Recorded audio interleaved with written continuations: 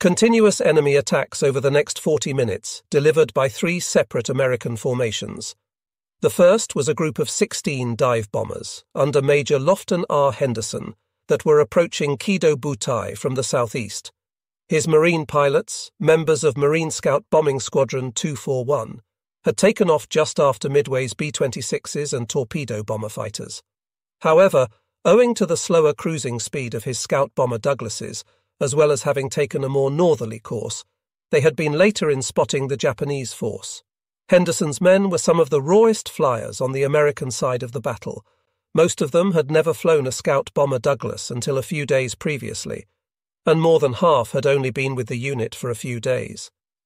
In their commander's opinion, his unit did not yet have the skills needed to execute a true dive bombing attack. Instead, Henderson led his flight in from an altitude of 9,500 feet, hoping to survive long enough to execute a shallower glide bombing attack against the two flat tops he saw on the port side of the Japanese formation, the wildly maneuvering carriers of Carrier Division 2. Henderson's men had just started their gradual descent toward the target when the Zeros hit them. The Japanese combat air patrol fighters tore into Henderson's formation with merciless precision.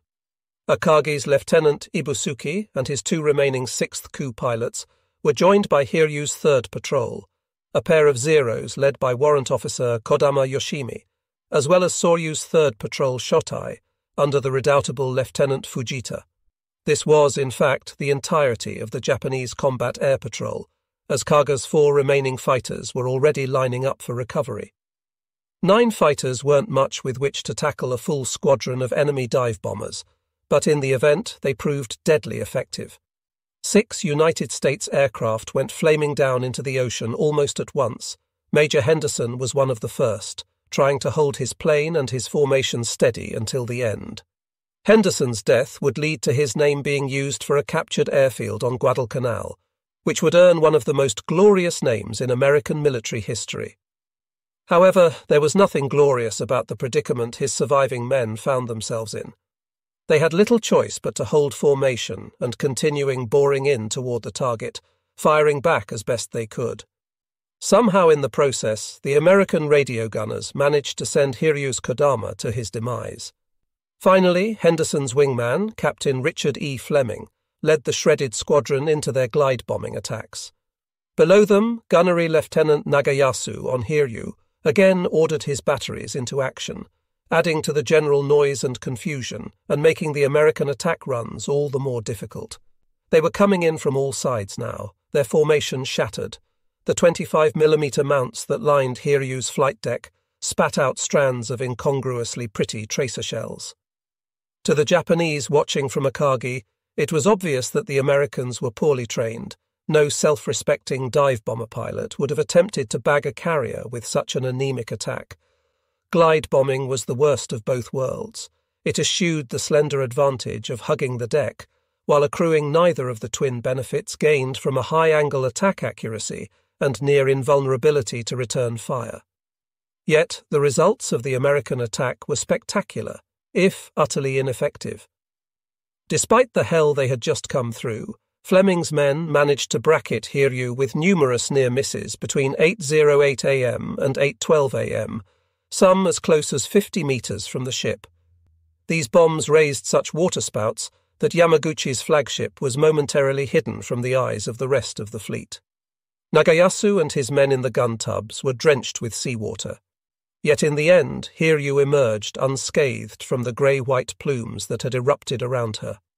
Once again, the Americans had paid prohibitively for no result, and the Japanese Combat Air Patrol thereupon hounded the surviving scout bomber Douglases out of the area.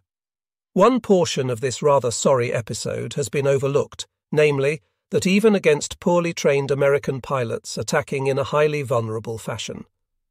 Hiryu's anti aircraft failed to account for a single enemy aircraft that we know of, despite Nagayasu's own belief that his very fierce fire had been responsible for the Americans' poor aim. Hiryu should have been able to bring a half dozen 5 inch and a dozen or so 25 millimeter barrels to bear on almost any broadside bearing. This was hardly an insignificant amount of firepower, yet she apparently hit nothing. Indeed, American strafing killed more of her crewmen than she claimed in return.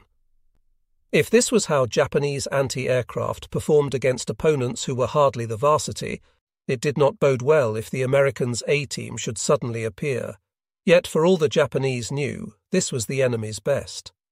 They had seen three different American attacks thus far, the last of which had been flown by carrier type aircraft, although the Japanese did not know that Henderson's squadron was land based. Yet in each case, the performance of the Americans had been subpar. They were clearly brave, but they had come in dumb, unescorted, and attacking poorly. If these were the same caliber of pilots who had managed to send Shokaku limping back to the yard, then Carrier Division 5's lowly status within Kido Butai was well deserved. However, almost simultaneously with Henderson's gallant but futile effort, another American attack began materializing. At 7:45 a.m., Japanese lookouts spotted aircraft at high altitude, which quickly revealed themselves to be a dozen four-engine American bombers. This was the B-17 force of Lieutenant Colonel Walter C. Sweeney, which had been sent aloft at 4:30 a.m. to attack Tanaka's transports, only to be redirected north by Midway as soon as the Japanese carriers had been detected. They were very high up, over 20,000 feet, the Zeros were going to have a devil of a time reaching them all the way up there. Not only that, but the entirety of the combat air patrol was already engaged in repulsing Henderson's attack in any case. The bombers split into three groups and went after Akagi, Soryu, and Hiryu in an almost leisurely fashion. The Japanese began banging away with their heavy anti aircraft guns, but the Americans were never in any great danger. Having attacked Tanaka's invasion forces the previous day from medium altitudes, Sweeney's men, upon further reflection, had judged their approach rather too low. This morning, against more heavily armed warships complete with fighter cover, they had decided to stay higher up. It was a sound decision, as the Japanese anti aircraft fire was none too good. The Americans noted that the Japanese shells seemed to be fused to detonate at the right altitude but consistently exploded well behind them. Altitude, however, worked both ways. Down below, the Japanese captains watched as the bombers came into their runs. Coolly, they waited until each element had dropped, then put the helm over into radical evasive maneuvers. Whether the Americans dropped promptly or even on target was largely irrelevant. The pirouetting warships below still had a good 30 seconds worth of airtime to play with meaning that they could be a quarter of a mile in nearly any direction when the bombs finally landed. Even by dropping a stick of a dozen or more 500 LB weapons at a time, the odds of securing a hit weren't good. Not only that, but the cloud cover over Kido Butai frustrated several of their attacks, forcing some aircraft to make numerous runs before finally dropping, yet the Americans almost got lucky. In the course of the 20 minute long series of runs, both Hiryu and Soryu were bracketed by near misses, to the consternation of the Japanese. In the end, though, the American heavies scored no damage.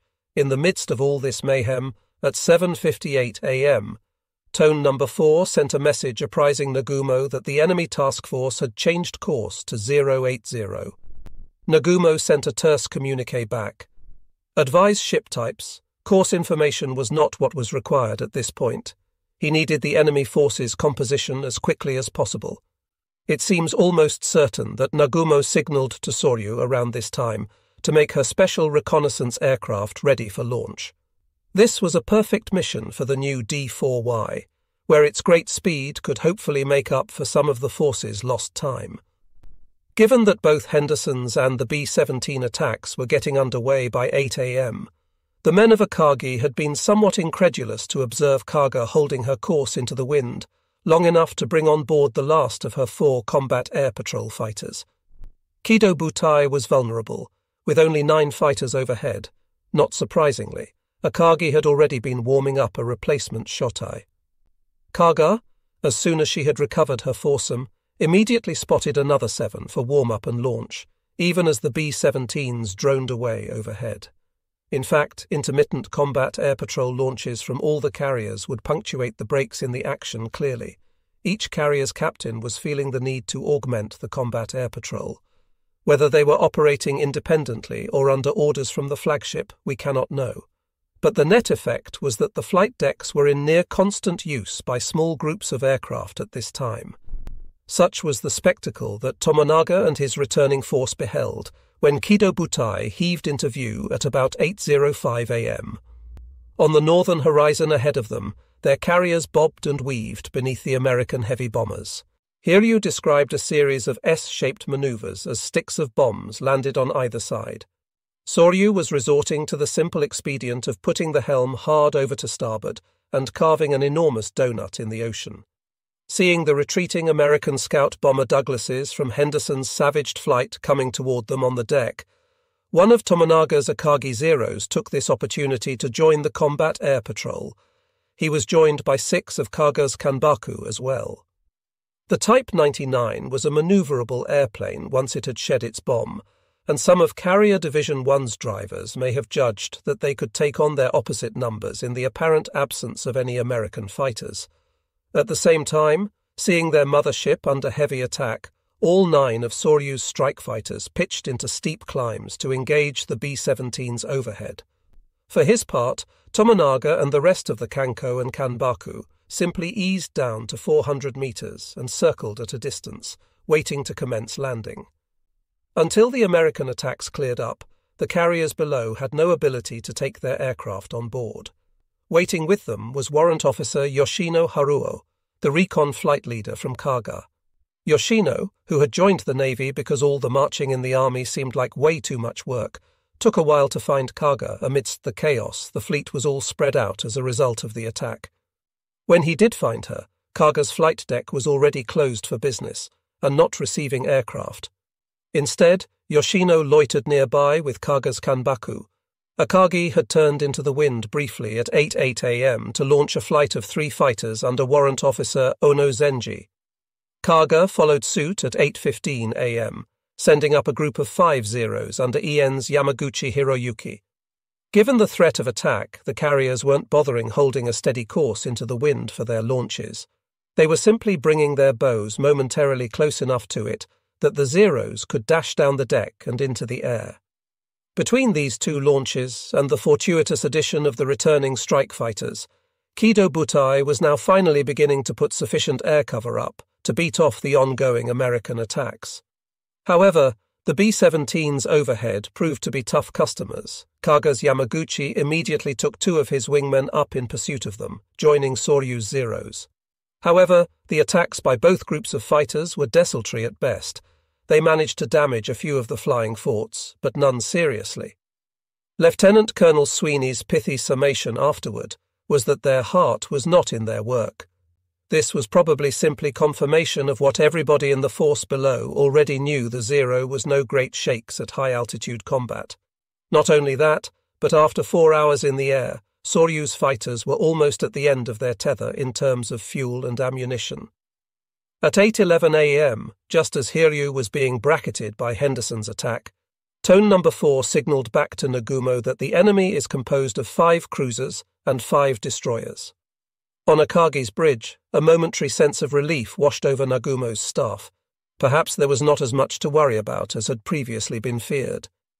If the Americans had only surface ships and no carriers, then they were well outside the range where Kido Butai needed to worry about them for the moment. The critical question of why the enemy would be where he was without having carriers was apparently not explicitly asked, although Kusaka remembered in retrospect that he was still suspicious. One message alone, in his opinion, couldn't make it clear that no enemy carriers were there.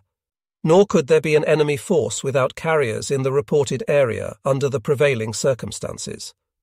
Sure enough, ten minutes later, at about 8.20 a.m., a third message from Tone number four came back to Akagi that permanently dispelled Nagumo's temporary sense of security.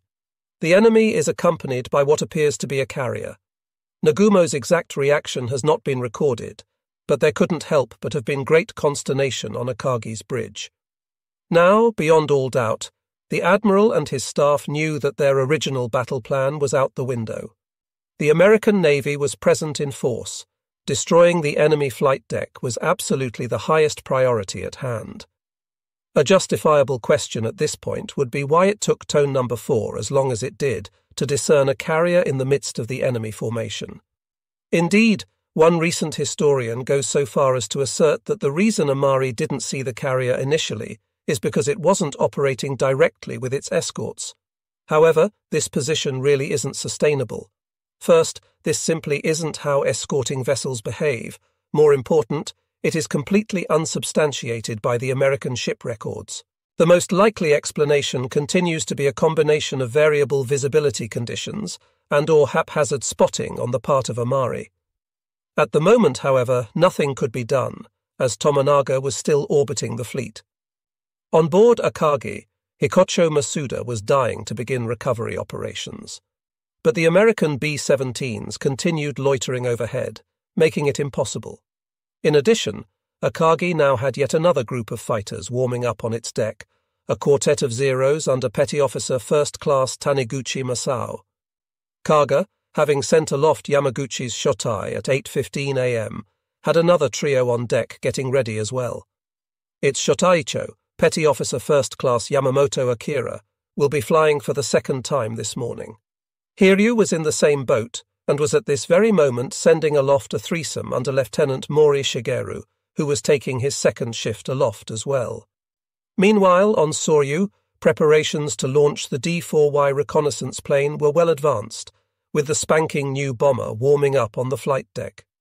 At 8:24 a.m., in the midst of these combat air patrol preparations, several ships within the force sighted a submarine periscope smack in the middle of the formation. This was Nautilus, which had been skulking around at periscope depth on an intercept course from the southwest.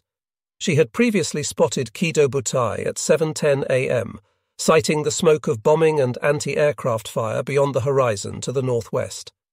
Her skipper, Lieutenant Commander William Brockman, had promptly changed course to close the target and gone to battle stations. Brockman was rewarded at 7:55 a.m. when he sighted masts on the horizon. However, a sharp-eyed Combat Air Patrol Zero spotted him in return and made a quick strafing run. Brockman took his boat down to 100 feet and continued closing. As he did so, the sounds of Japanese sonar could be heard ahead. At 8 a.m., Nautilus's skipper was pleased to sight four vessels, one of which appeared to be a battleship of the Ise class, one a light cruiser of the Jintsu class, and the last two apparently cruisers of the Yubari class. All were headed westerly on course 2:50 a.m. at 25 knots. Naturally, Brockman decided to attack the battleship and changed his course to draw ahead of her. However, at this moment, his periscope was again spotted by an alert Japanese aircraft most likely a Type 95 float plane aloft on anti submarine patrol. This time, Brockman was greeted not with a strafing, but with a bomb deposited next to his boat. Worse yet, the enemy light cruiser bored in with at least two other escorts, pinging as they came. Despite the risks, though, Brockman boldly remained at periscope depth and continued to work closer to his quarry. Nautilus had, in fact, stumbled onto Kido Butai as it temporarily reversed course westward, bringing it directly toward the American submarine. The battleship he had sighted was most likely Kirishima, now leading the heavies westward after the formation's reversal. The Jintsu class cruiser was obviously Nagara, while the two Yubari class cruisers were actually Kagero class destroyers, their larger forward stacks perhaps being the reason for Brockman's misidentifying them. Interestingly, Kirishima appears to have been well in advance of Nagumo's flat tops at this time, because Brockman did not sight any of them. Despite Brockman's boldness, the Japanese knew he was coming. At 8:10 a.m., Nagara dropped five depth charges near the sub, just as Nautilus was getting set up for her final attack run. At 8:17 a.m., six more depth charges came crashing down. Things were getting a bit too hairy for even the gutsy Brockman's tastes and he eased his boat down to 90 feet to avoid the wary eyes of both the buzzing combat air patrol and the Japanese lookouts. Nagara and her consorts promptly dropped nine more depth charges. Brockman, though, popped back up to periscope depth as soon as the attack ended. Raising his periscope, he recalled that the picture presented was one never experienced in peacetime practices. Ships were on all sides moving across the field at high speed, and circling away to avoid the submarine's position. Ranges were above 3,000 yards.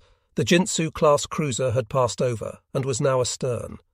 The battleship was on our port bow and firing her whole starboard broadside battery at the periscope. Brockman, though, was having problems setting up his attack. One of his torpedoes was running hot in its tube, having had its retaining pin sheared away during the depth charging. It was making a hellacious racket, and Brockman was certain that the Japanese escorts could hear its banshee wailing. Nagumo's fleet, what little Brockman could see of it, was still on a westerly heading when Nautilus fired at 8.25 a.m. His target was Kirishima. Taking aim at her starboard side, Brockman let fly with two torpedoes at a range of 4,500 yards. Or at least he thought he did. He found out later that one tube did not fire, leaving only one fish streaking toward the target. Kirishima evaded this threat by executing a sharp turn to port heading south and directly away from the torpedo. Whether Kirishima even saw Nautilus is open to debate her firing at the sub's periscope may in fact have been directed at a fresh set of American planes that were attacking her about this time. Whatever the reason, though, her neat turn away was exactly what was needed to spoil Brockman's attack. Not only that, but Nagara once again sighted the sub and charged in to renew her attack.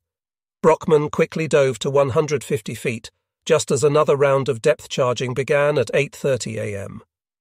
As soon as Nautilus's scope was seen on the western edge of the force, Nagumo's carriers made tracks to get away by heading back east. The fact that Nagara's persistent attacks had forced the American boat to dive again was comforting for the Japanese, at least as far as it went. However, the knowledge that an American submarine was lurking near at hand undoubtedly notched the pressure on the Japanese up still further. Not only that, but nearly simultaneous with Nautilus's appearance, yet another American air attack, the third in the last 30 minutes, began materializing. This was a force of 11 old Marine SB 2U Vindicator scout bombers, the second half of Marine Scout Bombing Squadron 241, led by that unit's executive officer, Major Benjamin W. Norris. His aircraft had followed Henderson's flight in at some distance.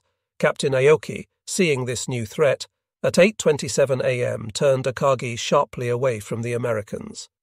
Fortunately for Akagi, she had just launched fighters, or she would have been sorely beset. As it was, though, these new additions, as well as some of the Zeros that had just beaten off Henderson, were able to assemble in time to deflect this new blow. Akagi's hard-working Lieutenant Ibusuki was present, along with the two sixth Coup pilots still in the air, they were joined by Warrant Officer Ono Zenji's trio. Hiryu contributed the two remaining members from her third watch, and Soryu's Lieutenant Fujita and his three-plane Shotai also charged back into the attack. Norris's command, though, benefited from the rather hasty nature of the defence thrown up in front of the force's two flagships. The Americans lost no inbound aircraft this time, though several were badly shot up. Whether by prudence or simply judging that Akagi and Hiryu were too far away to be attacked effectively, Norris decided to focus his efforts on the battleship Haruna. She was on the edge of the main body, and as such was easier to get to. In the face of the battleship's anti-aircraft, they began tilting into their dives. Haruna's skipper, Rear Admiral Takama Tomotsu, wasted no time in demonstrating that he knew how to drive his ship. The big battle wagon slithered through a series of evasive turns, neatly threading the needle between the Vindicator's attacks. Although Haruna was bracketed by five or six near misses, the bombs didn't damage her a whit. At the conclusion of the attack, Kido Butai's Zeros harried the Americans off to the southwest, eventually claiming a pair of dive bombers. The reader is forgiven for being confused by the rather bewildering welter of goings on at this juncture but that is precisely the point that needs to be made. The situation was confusing, no less to the contemporary historian trying to pick apart the exact sequence of events ex post facto than to the men standing on Akagi's bridge. The American air attacks, while materially ineffective, were nearly constant. As a result, Kido Butai was having no luck getting into any sort of a rhythm. It was operating reactively. Worse, its various responses, at least in terms of air defense, do not appear to have been centrally coordinated. The rather precipitous drop in combat air patrol assets at around 8 a.m. had been followed by something of an overreaction on the part of the individual Hikochos as they stoked the combat air patrol back up. There does not appear to have been anyone within the force looking down the road and assessing what was really needed. Instead, as the American attacks rolled in, the Japanese responded almost reflexively, sending up Shotai's piecemeal. It's not hard to see how this might have happened. Nagumo was stuck on board a wildly maneuvering carrier, watching his other vessels running pell mell in all directions. Every time it looked as if things were settling down a bit, another air raid warning would come in. Nagumo can hardly have known where all his ships were at any given time, let alone have had an appreciation of what his aggregate combat air patrol strength was. Here is where the Japanese lack of early warning radar materially damaged their chances in the battle. Radar was like a crystal ball, in effect. It allowed the commander to look a certain distance into the future, see developing threats, and plan accordingly. As it was, though, the combat air patrol battle was being directed by four air officers on four separate ships who could barely communicate with each other or their forces aloft. Without the ability to prognosticate what was pending in the way of attacks, the predictably human response to the question of how much combat air patrol is enough. It was just a little bit more. Lack of radar also reduced the effective distance at which the combat air patrol fighters could engage the Americans. Early warning for the Japanese force was provided by its outlying cruisers and destroyers. Yet these pickets could only be pushed out so far from the force before they, too, would be beyond visual range of the carriers. As a result, the combat air patrol was frequently engaging the Americans fairly close to the Japanese carriers. In many cases, the Zeros pursued fleeing Americans through the midst of the force itself. Not only was this dangerous, but it also meant that in many cases the combat air patrol wasn't being given the space it needed to operate most efficiently. Many of the American attacks would have probably been even more badly chewed up had they been detected farther away. Having radar might not have been a panacea for the Japanese, though. As the Americans could testify, learning to use this new technology was no cakewalk. Effective use of radar had already driven the Americans to make the conceptual leap toward the centralized coordination of air defense assets from many ships via a single location, the Combat Information Center. The first prototype Combat Information Center had been installed aboard Hornet when she was commissioned in October 1941. Even later in the war, having had radar on their ships for two years, the Japanese would never manage to make this leap. Above all, effective use of radar required adequate communications to the individual combat air patrol elements. The Japanese, operating as they were on a single radio frequency for all of their aircraft, and having faulty radios in their zeros, met neither of these prerequisites. Thus, even if the Japanese had had radar at Midway, its use might have been limited. By around 8:30 a.m., the American attacks were finally starting to wind down and the Japanese were beginning to think about landing the Midway attack force. Admiral Yamaguchi, however, was probably concerned by having been on the receiving end of an attack by what had appeared to be carrier type aircraft. Apparently exasperated by the inability to strike back, he had a message flash from Hiryu to Akagi's plane guard destroyer Nowaki. She, in turn, dutifully relayed the Admiral's message to Nagumo. Consider it advisable to launch attack force immediately. Nagumo's mood upon receiving this entreaty from his brash subordinate has not been recorded, but it hardly could have been charitable. By any rational standard, the time for launching a strike against the Americans was long past, and Yamaguchi should have known it. Indeed, the force was even now scrambling in preparation for bringing Tomonaga down.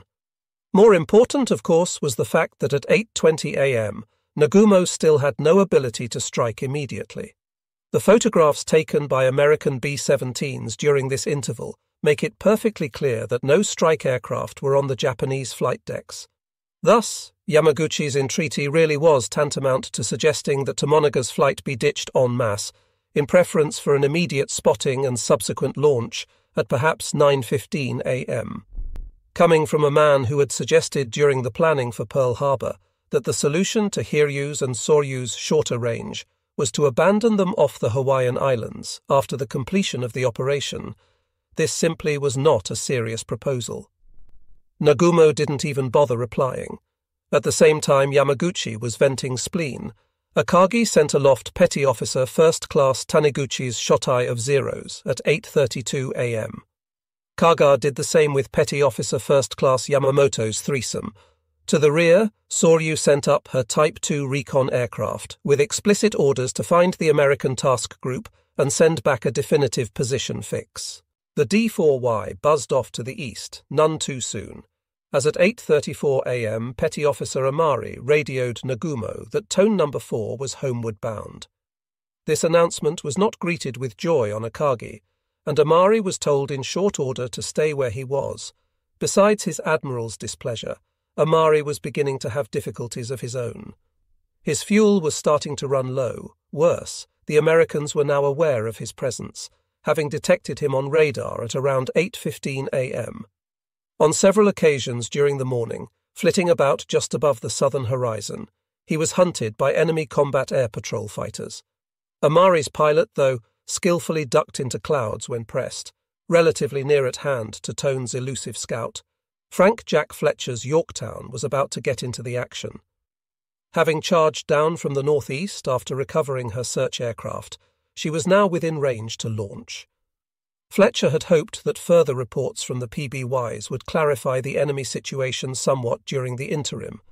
However, no new information on any additional Japanese carrier groups was forthcoming, and in the end, Fletcher ordered Yorktown to begin launching at 8:38 a.m. Unlike her sister ships, Yorktown managed to launch a well coordinated strike. She sent up a total of 35 aircraft, 6 fighters, 17 dive bombers, and 12 torpedo planes in two deck loads. The scout bomber Douglases went first, followed by the torpedo bomber Douglas, the latter heading off immediately to the southwest at 2,500 feet. A quick spot and launch then sent up the shorter ranged Wildcats. The scout bomber Douglases and fighters soon followed after the slower torpedo bomber Douglas. The entire formation was in the air by 1906. Yorktown's second dive bomber squadron was left on board as a reserve, much to the collective disgust of its pilots. Fletcher's plan was fairly simple. He and his staff had mapped out a course to an intercept point, where they expected Nagumo's fleet would be at 9 a.m. They knew they had to allow for the fact that the original Japanese sighting reports were now several hours old. Further, while they were convinced that Nagumo would roughly hold his course, they also assumed that he would not approach Midway too closely. Therefore, Fletcher judged the most likely position of the Japanese carriers to be 30 degrees 0 minutes north, 179 degrees 0 minutes west, which at 9 a.m. would place them at a bearing of 240 degrees, 150 miles from Task Force 17. Yorktown's planes would fly a course straight to that point. If they did not spot the enemy, they would turn northwest and fly up the enemy's line of advance, before turning at last for the northeast leg back home. With such an approach, Fletcher's staff believed they would be able to come across the Japanese no matter which way they manoeuvred. It is worthwhile noting the differences between the staff and air operational work aboard Task Force 16 and 17. Whereas Task Force 16's launches had devolved into almost a shotgun approach to the problem, Yorktown's entire group was directed along a single bearing toward a single point on the ocean. This meant that if Yorktown's group found the enemy, it would be in a much better position to deliver a well coordinated attack.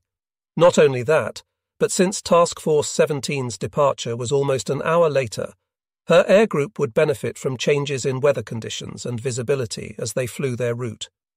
With Yorktown's launch, the Americans now had a total of 151 carrier aircraft in the air. The question was, could they find the Japanese? At the very moment Fletcher was sending the last of his aircraft up, Nagumo was bringing the bulk of his down. Finally, at 8.37 a.m., Akagi hoisted a white flag with a black ball, indicating that her decks were open for business.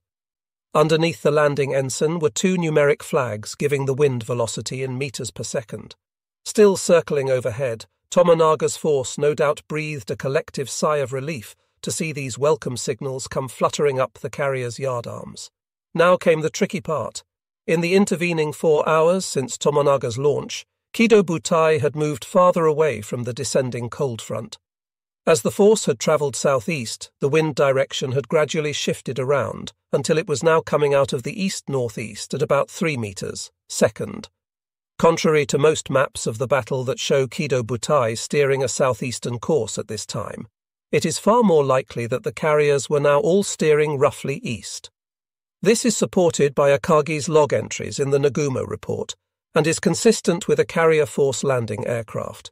Furthermore, we know from the post war testimony of several of Kido Butai's carrier officers that the carriers moved in unison when performing large takeoff or landing operations. Thus, we can presume that all four carriers were headed roughly east at this time.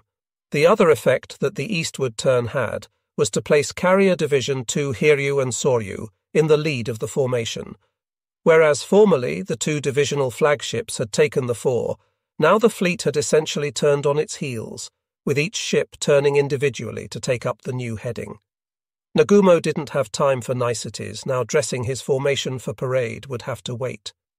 It seems likely, though, that Soryu used her superior speed to catch up to Hiryu somewhat, keeping her divisional flagship off her starboard beam.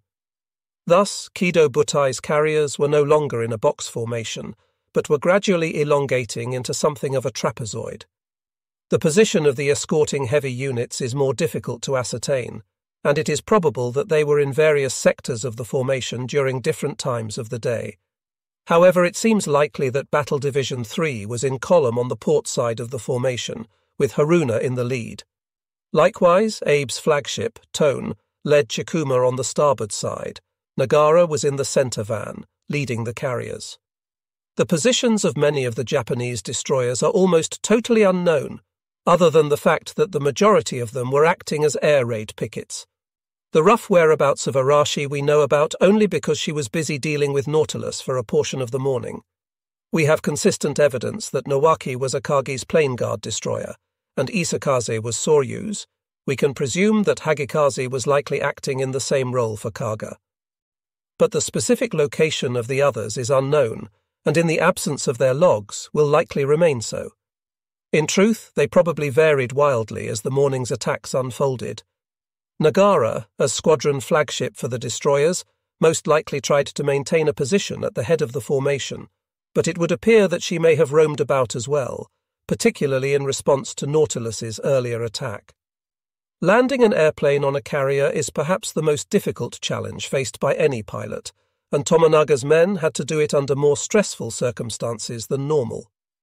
The morning mission had been a long one, and everyone was hungry and tired, their aircraft were low on fuel, and the landing had to be conducted under the threat of enemy attack. They needed to get down as quickly and precisely as possible. Unfortunately, given the damaged condition of many of the airplanes, just getting them on the deck in one piece was going to be a challenge. Indeed, Fuchida's rather glib statement that with the veteran flyers we had at this time, speedy recovery operations on board the carriers even under stringent battle conditions were little more than child's play is clearly an oversimplification of the situation facing Tomonaga's flyers. His quip both understates the inherent dangers of landing operations and simultaneously heaps further discredit on Nagumo's moaning regarding his pilot's training. In fact, both men were wrong Nagumo's pilots were well trained, but carrier landings were a very delicate business, even for experienced aviators. The aircraft began forming clockwise, holding patterns outboard of their home carriers. Each was readily identifiable by the configuration of their island and deck features, but each also had a large white Kana symbol painted on the flight deck after identification A for Akagi, Ka for Kaga, Hai for Hiryu, and Sa for Soryu. Planes with mechanical problems or wounded crewmen were moved to the heads of queue. One by one, each plane broke out of the holding circle, crossed the bow of the carrier some ways ahead, and flew down its opposite side. Once behind the ship, each turned inward to line up their final approaches. This took them practically over the top of the carrier's plane guard destroyer, which was stationed 700 to 1,000 metres astern. From there, they could rescue any downed aviators who fell short of the fantail or went over the side. If all was normal, the aircraft would turn in so as to be about 700 metres behind the carrier, at 200 metres altitude. Just as with takeoffs, the decision making authority for landing was vested almost solely in the pilot. The Imperial Navy had no comparable officer to the United States Navy's landing signal officer. No one on board the carrier was charged with actively directing the planes, although a signals Sabine, under the command of the Hikocho, could wave off a plane if it was judged to be in a blatantly unsafe approach or if the deck was fouled. Once in the final approach, the pilot established his glide slope. However, the Japanese also had a unique landing aid, Chakkan Shidoto landing guidance lights, to assist the pilot in setting up a safe approach. Originally, it had been intended for night landing purposes, but it had proven so useful that it was used in daytime as well. This device consisted of a bank of two red lights set at the level of the flight deck and a similar bank of four green lights set some 10 to 15 metres forward. First developed in 1932, each of the 1 kilowatt lights was variable in intensity and equipped with a mirror so as to emit a very narrow cone of illumination. Matched arrays were located on opposite sides of the ship. The angle of the lights was adjusted for each type of airplane. Attack planes typically came in at around a 5 degree slope, fighters perhaps a half degree steeper than that. As the pilot descended, he attempted to make the lights line up so that the green lights were positioned immediately above the red. If the pilot could only see the red lights, he had fallen out of the cone of green light. He was below the correct slope. If the red lights were over the green, he was coming in so low that he would probably hit the ship's fantail. Likewise, if the green light was positioned far above the red, the pilot was coming in too high. As the plane approached the flight deck, he would eventually lose sight of the rear edge of the flight deck. However, Japanese carriers had white or red and white striped outrigger platforms near the aft end of the flight deck. These platforms helped the pilot gauge the orientation of the flight deck, even if the deck was obscured by the nose of the aircraft. At any point in the approach, the Sabine could signal the pilot as to his condition. A red flag from the Sabine signaled that the pilot should go around again. A white flag with an H meant that the aircraft's hook was not lowered. Each pilot aimed to keep his airspeed about 10 knots above stalling. For most aircraft, this meant maintaining between 70 and 75 knots. Lining up the final few seconds of the approach required excellent reflexes. In any sort of a crosswind, even a second's worth of inattention could mean putting the plane over the side and into the heavy steel netting that lined the flight deck. But if everything went properly, the pilot would cut his engine just before reaching the brightly painted fantail and then catch one of the arresting wires with his hook. Snagging the arresting wire was hardly a restful way to come to a halt, but it was not nearly as violent as the deceleration found on a post war carrier jet. The Kure Type 4 arresting gear used at Midway had an induction coil drum below the flight deck, around which the arresting wires were spoiled. The wires were held about eight inches off the deck by a support that could be lowered flat when not in use. Type 4 could stop a 4 ton aircraft travelling at a speed of 60 knots in less than 40 metres, applying about 2 g forces of deceleration in the process. As the first aircraft began approaching, the deck crewmen crouched in their tubs alongside the flight deck. This was where things could get really exciting. Landing accidents were not uncommon even under peacetime conditions, and with damaged aircraft and wounded pilots, the odds were good that somebody was going to crack up this morning. The most common mishap was the pilot missing the deck astern, damaged landing gear from hard landings, hitting the island with a wing, and going over the side were not unheard of either. Another common accident was a barrier crash, wherein a plane would miss the landing wire and go hurtling into the crash barrier. Like the Americans, the Japanese used barriers to separate the after end of the flight deck, where landings were taking place from the forward portion. If aircraft were parked forward, there would almost certainly be one or more barriers in place between them and the fantail, because a crash into a group of parked aircraft could have disastrous consequences. A typical crash barrier consisted of three athwartships, steel cables, upper, middle, and lower, spanning the width of the flight deck. These were supported by poles that could be raised or lowered by compressed air in a matter of a few seconds. Such a barrier could stop a four ton aircraft travelling at a speed of 50 feet per second in a distance of less than 25 feet. Obviously, hitting the barrier at 4G forces was hardly a love pat, and it often led to unpleasant consequences for the plane and pilot. Still, it was better than ploughing into one's squadron mates. As the planes came down, the deck crew prepared to receive them. Men with fire extinguishers were standing by, and any damaged plane could be swarmed almost instantly by dozens of rescuers. Japanese records do not record how many deck accidents occurred during the Tomonaga forces' landings, but there must have been some. According to Fuchida, a Kanko is known to have landed on one wheel on board Hiryu, which would have left the plane out of commission for certain, and a mortally wounded fighter pilot from Kaga, Petty Officer First Class Tanaka Yukuo, most likely crash landed his as well. He died before he could be removed from the cockpit. Most of Tomonaga's men, however, landed successfully. The Japanese were certainly aided by the easy landing characteristics of their carrier aircraft, which had low stall speeds and forgiving handling. Not surprisingly, the Zero retained its responsiveness even at low speeds, but even the lumbering Type 97, in the opinion of one British test pilot who later flew it, had a docile stall, and thus could be flown to its manoeuvre limits with impunity. All three aircraft also had good visibility over the nose, making control of the plane during the final approach much easier. As soon as each plane had been brought to a halt, deck crewmen rushed out to begin the stowage process. The pilot, or in the case of the Kanko and Kanbaku, the observer would already be releasing the hook, and the crash barriers would be lowered on command from the Hikocho. By now, the deck crew had reached the plane and begun folding its wings. Time was of the essence. Already the next plane would be moving into position to land. The entire final approach, from the time of turn in to landing on the deck, had taken about 20 seconds so far, and further time was needed to move the plane forward off of the arresting wires. During normal operations, the Japanese were able to land a plane every 25 to 45 seconds. As mentioned earlier, the Japanese avoided deck parks whenever possible. They believed that the hangar afforded more protection to the plane and crew. During landing, the Japanese shoved the newly landed aircraft forward of the crash barrier in preparation for taking the next one on board. Then, as soon as landing operations were completed, all planes were stowed below.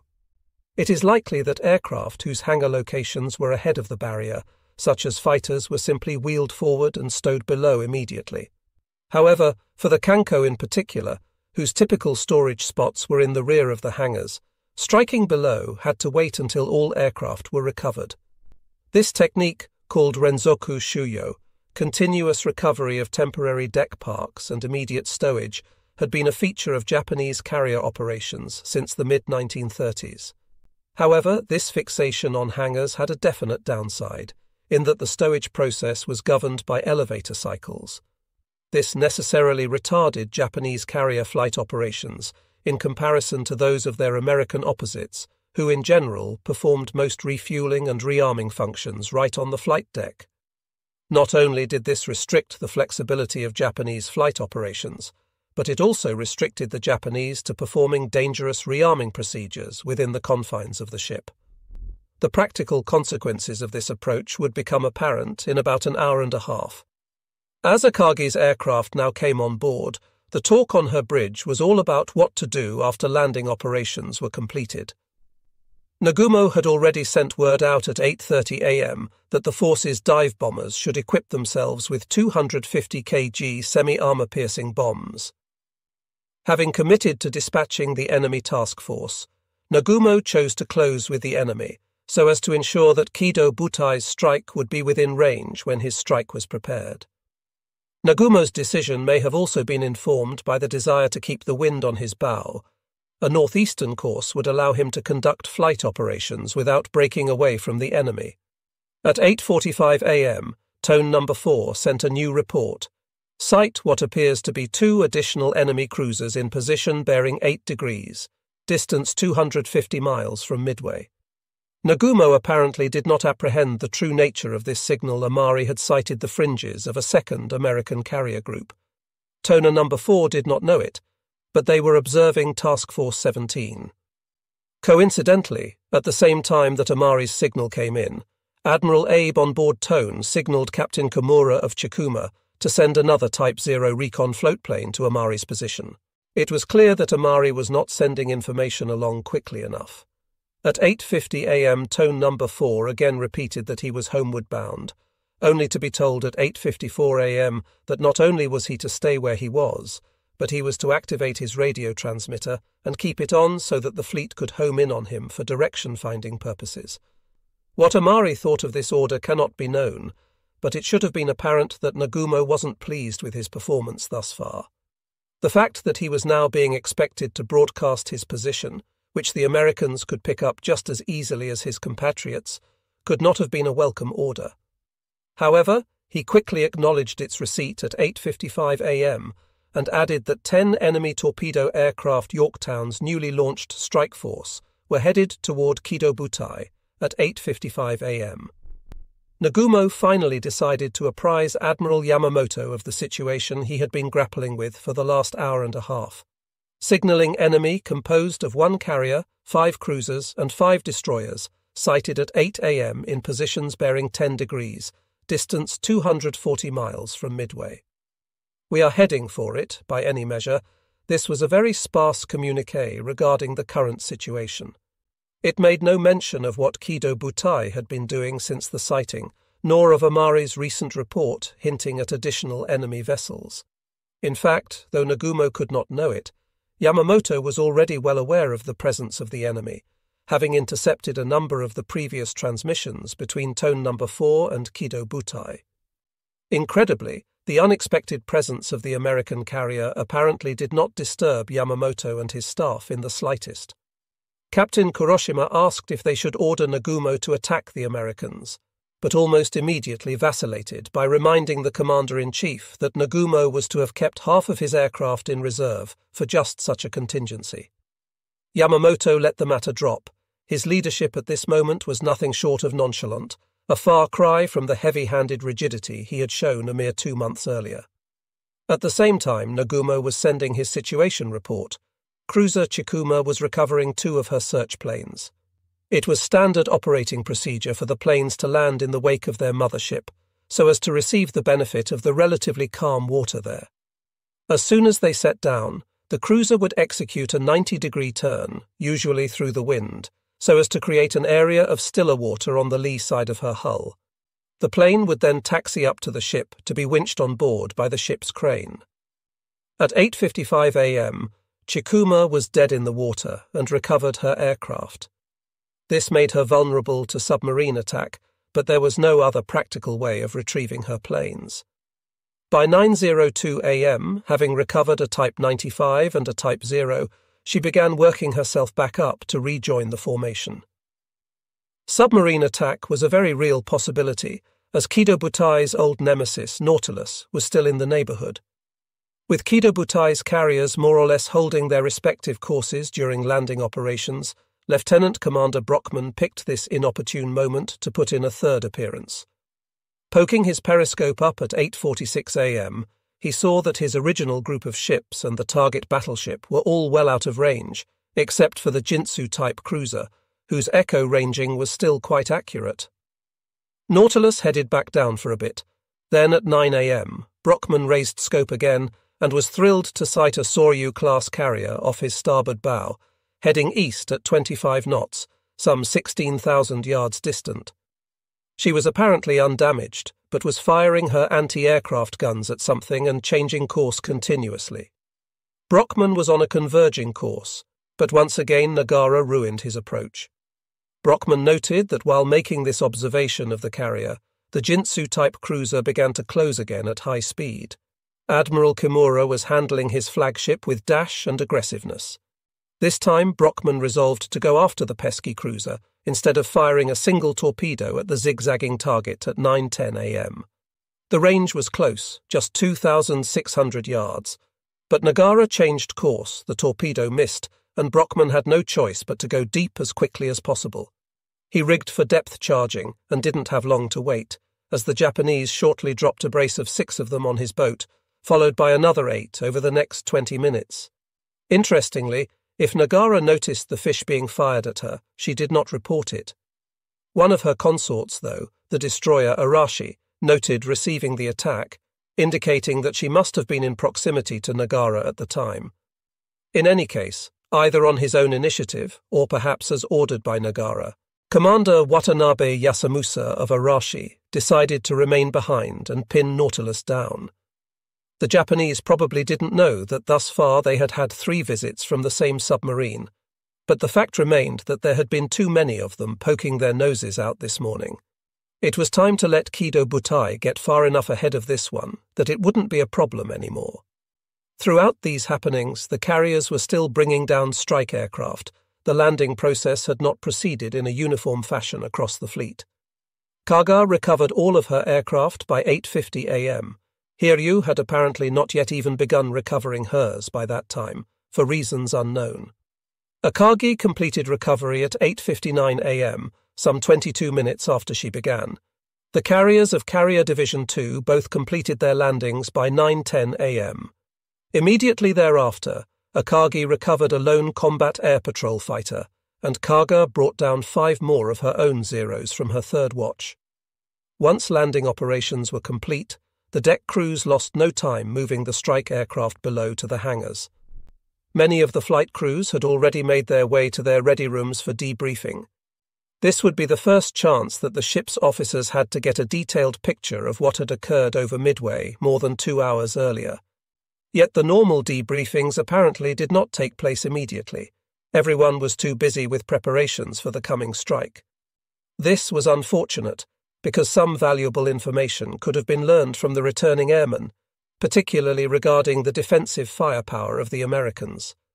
For one thing, it would have helped explain why there were so many faces missing in the ready rooms of Carrier Division 2,